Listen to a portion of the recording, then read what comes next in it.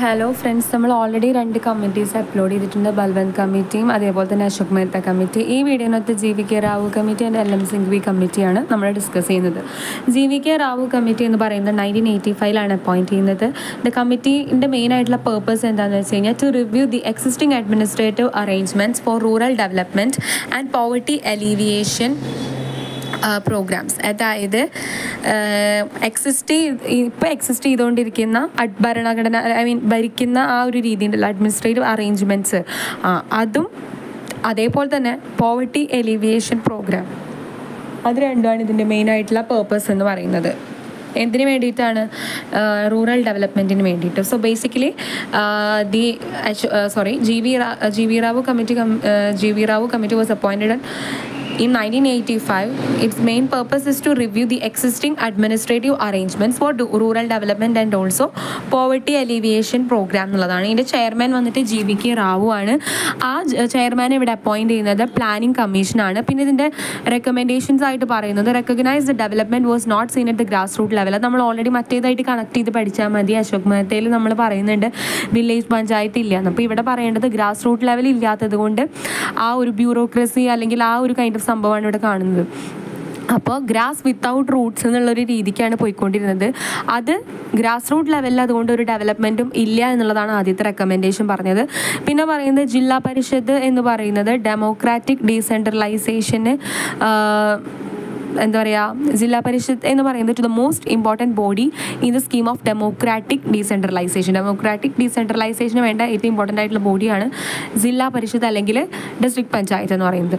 പിന്നെ എലക്ഷൻസിന്റെ കാര്യം പറയുന്നത് election should be conducted at regular intervals പിന്നെ ഡിസ്ട്രിക്ട് കളക്ടറിന്റെ റോൾ എന്ന് പറയുന്നത് കുറച്ച് കുറച്ചിട്ട് ബേസിക്കായിട്ടും ആ ഒരു റോൾ കുറച്ചിട്ട് എന്താണ് ചെയ്യേണ്ടത്? കൂടുതലായിട്ടും അഡ്മിനിസ്ട്രേറ്റീവ് റോളിന് വേണ്ടിയിട്ട് കൺസിഡർ ചെയ്യുക എന്നുള്ളതാണ്. അപ്പോൾ as a whole G V K Rao committee appoint ചെയ്യുന്ന നയന്റീൻ എയ്റ്റി ഫൈവിലാണ് പിന്നെ അതിന്റെ മെയിൻ ആയിട്ടുള്ള പേർപ്പസ് എന്ന് പറയുന്നത് റിവ്യൂ ചെയ്യുക എന്ത് റിവ്യൂ ചെയ്യുക എക്സിസ്റ്റിംഗ് അഡ്മിനിസ്ട്രേറ്റീവ് അറേഞ്ച്മെന്റ്സ് റിവ്യൂ ചെയ്യുക പ്ലസ് എന്തിനു വേണ്ടിയിട്ടാണത് റൂറൽ ഡെവലപ്മെന്റിന് വേണ്ടിയിട്ടും. പിന്നെ പോവർട്ടി എലിവിയേഷൻ പ്രോഗ്രാം പിന്നെ ഇത് റെക്കമെൻഡേഷൻ ആയിട്ട് പറയുന്നത് എന്താണെന്ന് വെച്ച് കഴിഞ്ഞാൽ ഗ്രാസ് റൂട്ട് ലെവലുള്ള ഒരു ഡെവലപ്മെന്റും കാണുന്നില്ല എന്നുള്ളതും ജില്ലാ പരിഷത്താണ് മോസ്റ്റ് ഇമ്പോർട്ടന്റ് ബോഡി ആയിട്ട് ഡീസെൻട്രലൈസേഷന് പറയുന്നതും പിന്നെ പറയുന്നത് എന്താണെന്ന് വെച്ച് കഴിഞ്ഞിട്ടുണ്ടെങ്കിൽ ഈ ഒരു എന്താ പറയുക എലക്ഷൻസ് എന്ന് പറയുന്നത് റെഗുലർ ആയിട്ട് കണ്ടക്ട് ചെയ്യണം എന്നുള്ളത് ചെയർമാന്റെ ബാക്കി റോൾസിൽ നിന്ന് ചെയർമാൻ ഒന്ന് റിഡക്ഷൻ കൊടുത്തിട്ട് അഡ്മിനിസ്ട്രേറ്റീവ് റോളിലേക്ക് നമ്മൾ പറഞ്ഞല്ലോ റിവ്യൂ ചെയ്യാനാണ് എക്സിസ്റ്റിംഗ് അഡ്മിനിസ്ട്രേറ്റീവ് അറേഞ്ച്മെന്റ് അപ്പോൾ അഡ്മിനിസ്ട്രേറ്റീവ് റോൾ കുറച്ചും കൂടെ കൊടുക്കുക. ഇത്രയും കാര്യങ്ങളാണ് G V K Rao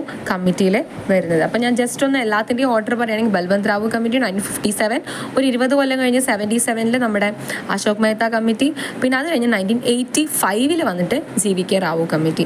Next കമ്മിറ്റിയാണ് നമ്മുടെ that is L M Singhvi committee. So L M Singhvi committee എന്ന് പറയുന്നത് very next year G V K Rao committee eighty ഫൈവിലെ L M Singhvi committee eighteen sixty nineteen eighty സിക്സിലാണ് appoint ചെയ്യുന്നത്. അതിന്റെ main purpose എന്താണെന്ന് വെച്ചാൽ ഞാൻ കൊടുത്ത പോലെ to revitalise Panchayat Raj system for democracy and development ഡെവലപ്മെന്റിനും ഡെമോക്രസിക്കും വേണ്ടിയിട്ട് എന്ത് ചെയ്യണം?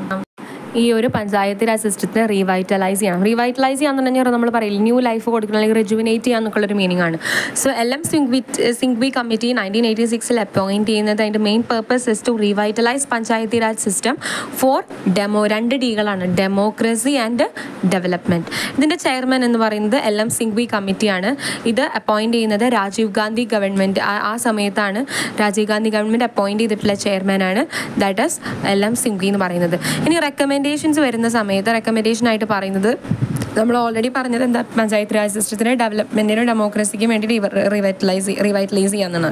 അപ്പോൾ അതിന് റെക്കമെൻഡേഷൻ ആയിട്ട് പറയുന്നത് പഞ്ചായത്ത് രാജ് സിസ്റ്റം എന്ന് പറയുന്നത് കോൺസ്റ്റിറ്റ്യൂഷനിൽ റെക്കഗ്നൈസ്ഡ് ആവണം. അതേപോലെ തന്നെ കോൺസ്റ്റിറ്റ്യൂഷണൽ പ്രൊവിഷൻസ് എന്ന് പറയുന്നത് free and fair elections relate ചെയ്തിട്ട് റെക്കഗ്നൈസ്ഡ് ആയിരിക്കണം. പിന്നെ വില്ലേജസിനൊക്കെ റെക്കഗ്നീഷൻ കിട്ടണം. അതായത് ഗ്രാമപഞ്ചായത്ത് കൂടുതലും വയബിൾ ആവുന്ന രീതിയിൽ. പിന്നെ വില്ലേജ് പഞ്ചായത്തിന് കൂടുതൽ ഫിനാൻസ് കൊടുക്കണം. അവരുടെ ആക്ടിവിറ്റീസ് റെഡിയാക്കാൻ വേണ്ടിയിട്ട്. പിന്നെ ജുഡീഷ്യൽ ട്രൈബ്യൂണുകൾ ട്രൈബ്യൂണൽസ് സെറ്റപ്പ് ചെയ്യണം എന്തിനു വേണ്ടിയിട്ടാണ് ഇലക്ഷൻ മാറ്റേഴ്സ് റിലേറ്റ് ചെയ്തിട്ടുള്ള കാര്യങ്ങൾക്ക് so L M Singhvi committee was appointed on in nineteen eighty six The chairman of the committee was L.M. Singhvi uh, by the Rajiv Gandhi government. The main purpose of this committee is to revitalize, uh, revitalize what? Uh, Panchayati Raj system for democracy and development the main recommendations was that എന്തൊക്കെയാണ് P R S Panchayat Raj system should be constitutional recognised constitutional provisions എന്ന് പറയുന്നത് ഇതിൻ connection with Panchayat Raj system എന്ന് പറയുന്നത് fair and free ആയിരിക്കണം.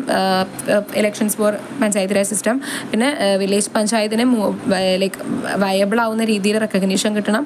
Village പഞ്ചായത്തിന് finance കൊടുക്കണം for their activities and finally കൂടുതൽ ഇലക്ഷൻ റിലേറ്റഡ് ആയിട്ടുള്ള കാര്യങ്ങളാണ്. ഫൈനലി പറയുന്നത് ജുഡീഷ്യൽ ട്രൈബ്യൂണൽസിന് ഇലക്ഷൻ മാറ്റേഴ്സിന് വേണ്ടിയിട്ട് അത് സെറ്റപ്പ് ചെയ്യണം. ഇത്രയും കാര്യങ്ങളാണ് എല്ലാം സിംഗ്വി കമ്മിറ്റിയിൽ നമ്മൾ പറയുന്നത്. ഇനി ഞാൻ ജസ്റ്റ് എല്ലാ നമ്മൾ ഇതുവരെ പറഞ്ഞ കമ്മിറ്റീസിന്റെ പേർപ്പസ് മാത്രം ദ മെയിൻ അൾട്ടിമേറ്റ് പേർപ്പസ് മാത്രം ഒന്ന് പറയാം. ദാറ്റ് ഈസ് ബൽവന്ത് റായ് കമ്മിറ്റീന്റെ എന്തായിരുന്നു? Community development programme and public extension service sorry national extension service ആയിരുന്നു. Where in case of Ashok Mehta committee revive and strength declining strength ചെയ്യുക സ്ട്രെങ്തൻ ചെയ്യുക declining Panchayati Raj system in India പിന്നെ G V K Rao കമ്മിറ്റീന്റെ ആണെന്നുണ്ടെങ്കിൽ എന്താണ്? To review the existing arranging existing administrative arrangements and for rural development and poverty alleviation programme and L M Singhvi കമ്മിറ്റിയിലാണെന്നുണ്ടെങ്കിൽ revitalise Panchayati Raj system for democracy and development ഇത്രയും കാര്യങ്ങളാണ്. നാല് കമ്മിറ്റീസാണ് മെയിനായിട്ട് വരുന്നത്. ഇതിൽ ഏതെങ്കിലുമൊക്കെ ഒന്ന് ലൈക്ക് ഷോർട്ട് എസ്സേക്കോ അല്ലെങ്കിൽ എല്ലാത്തിനും കൂടിയുള്ള എസ്സേക്കോ ചോദിക്കാനുള്ള ചാൻസ് ഉണ്ട്. So I hope you got an idea about this topic thank you